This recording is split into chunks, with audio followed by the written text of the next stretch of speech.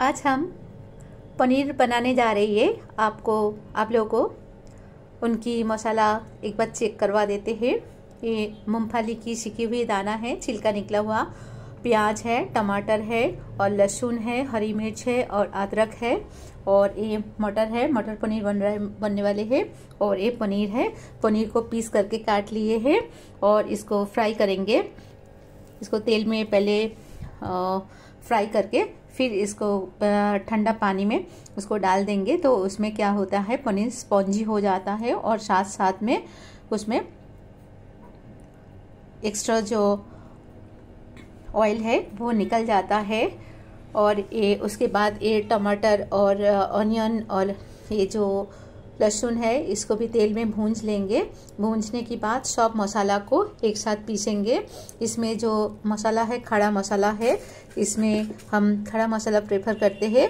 इसमें ढोड़ा इलायची, छोटा इलायची, लौंग दारचीनी साजीरे शामरीच गोलमरीच, जायफल, जायपत्ती, सादा जीरे और खड़ा जी जीरे, सादा जीरे है और जो शाह जीरे है और सादा जीरे है, नॉर्मल जीरे है और धनिया है। इतना इंग्रेडिएंट्स है। इसको सब मिक्सी में पीस कर, पीसना है, लेकिन उसके पहले टमाटर और प्याज को हम फ्राई कर लेंगे साबुत के साबुत और उसके साथ लहसुन को भी फिर ये सबको एक साथ मिक्सी में पीसेंगे। पनीर को फ्राई कर लिए हैं।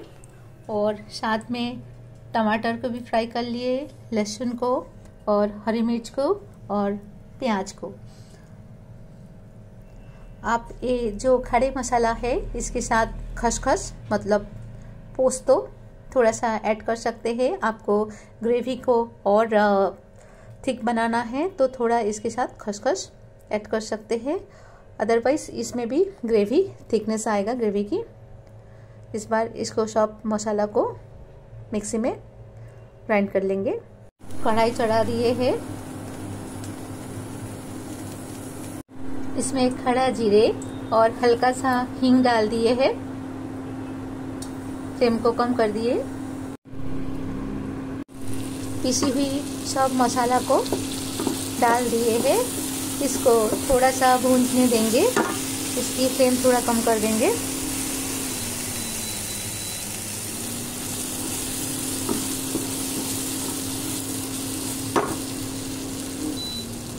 इसके ऊपर नमक, लाल मिर्च, हल्दी, ये पाउडर डाल देंगे।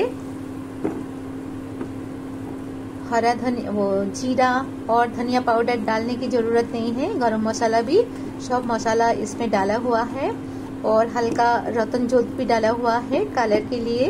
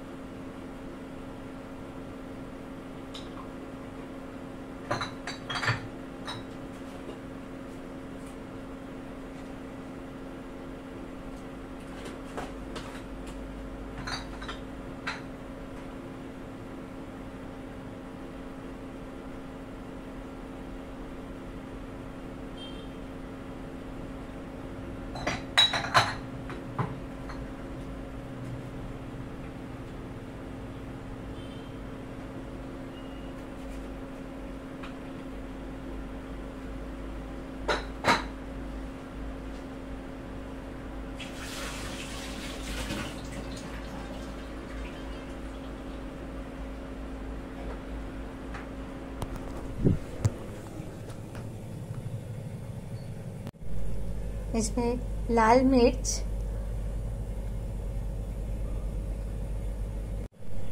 लाल मिर्च पाउडर, हल्दी पाउडर, नमक, इसको ऐड कर दिए हैं।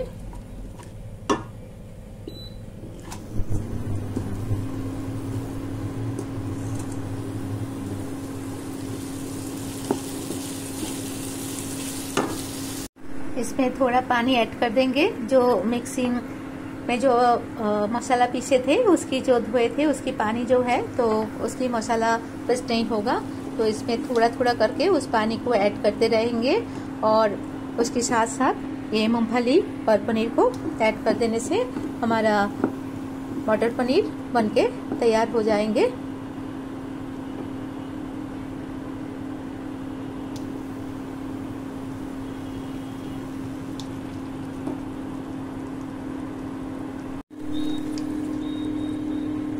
अभी ऑलमोस्ट ग्रेवी बन के तैयार हो गया है। इसमें हम मटर को ऐड करेंगे।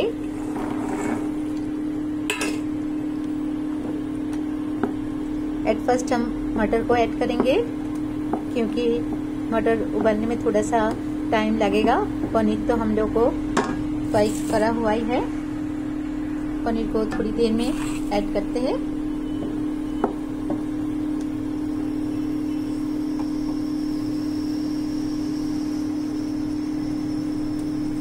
फ्लेम को कम रखते हुए।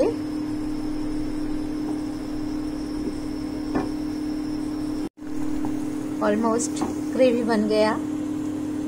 इसके बाद पनीर को ऐड करके थोड़ी देर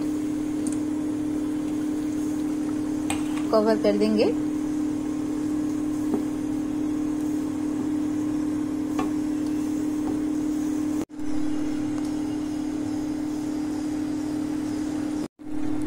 अभी मटर पनीर बन के तैयार हो गया। इसमें एक चम्मच घी है, ऊपर से डाल देंगे।